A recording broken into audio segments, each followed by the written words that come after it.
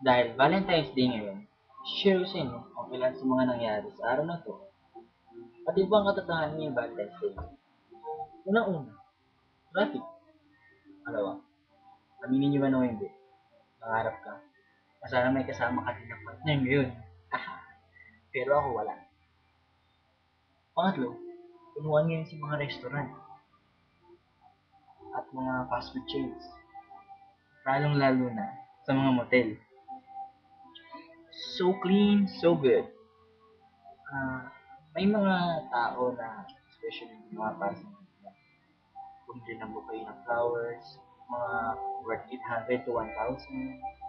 Merong mga gumawa ng eksena para mapansin ng maraming tao. Mas kiligin yung babae. Parang kanina sa may UE. Grabe. Meron pa siyang logo tapos nakadikit din yung parang papel na I love you. Tapos nakita ng maraming tao na nakakatawa. Nakita ko yun eh, nakakatawa. Tapos, meron naman, merong iba nagbigay lang ng isang pirasong bulaklak sa mahal nila. Tapos pintas lang nila yung sa daanan. Tapos may mga nakita rin ako na nagsi-celebrate dahil single sila. Grabe. Buti hindi ako doon. Kahit single ako, hindi ako kasali doon. Hindi ako nag-celebrate na single ako. Pero okay lang din na single, masaya naman. Yung iba, grabe.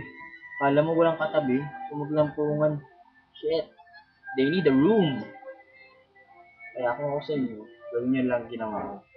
May pinamaga, celebrate nyo sa pamilya nyo.